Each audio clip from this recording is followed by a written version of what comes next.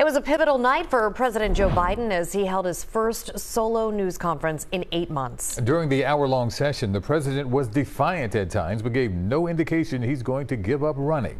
CBS Philadelphia Siafa Lewis is going to take you through the key parts of the president's speech and his answers to reporters. Siafa.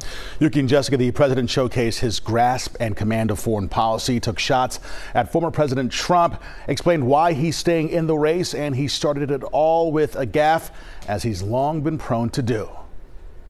I wouldn't have picked Vice President Trump to be vice president that I think she was not qualified to be president. Biden was answering a question about Vice President Kamala Harris's readiness to be president.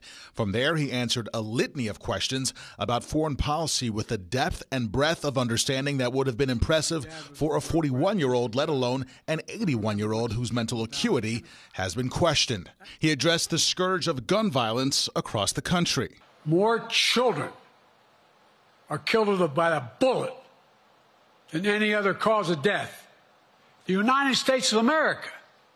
What the hell are we doing? He explained what was meant by his staff saying his day would end at 8 p.m. Instead of my every day starting at 7 and going to bed at midnight, it'd be smarter for me to pace myself a little more. And I said, for example, the 8, 7, 6 stuff, instead of starting a fundraiser at 9 o'clock, start at 8 o'clock. People get to go home by 10 o'clock. He used that opening to take a shot at former President Trump's schedule. My schedule has been full bore. I've done, where's, and where's Trump been? Riding around in his golf cart, filling out his scorecard before he hits the ball? I mean, look, he's done virtually nothing. He also questioned the validity of polling four months prior to Election Day.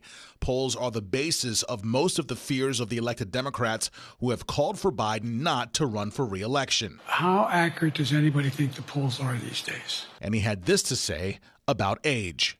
The only thing age does is help you with it, creates a little bit of wisdom if you pay attention.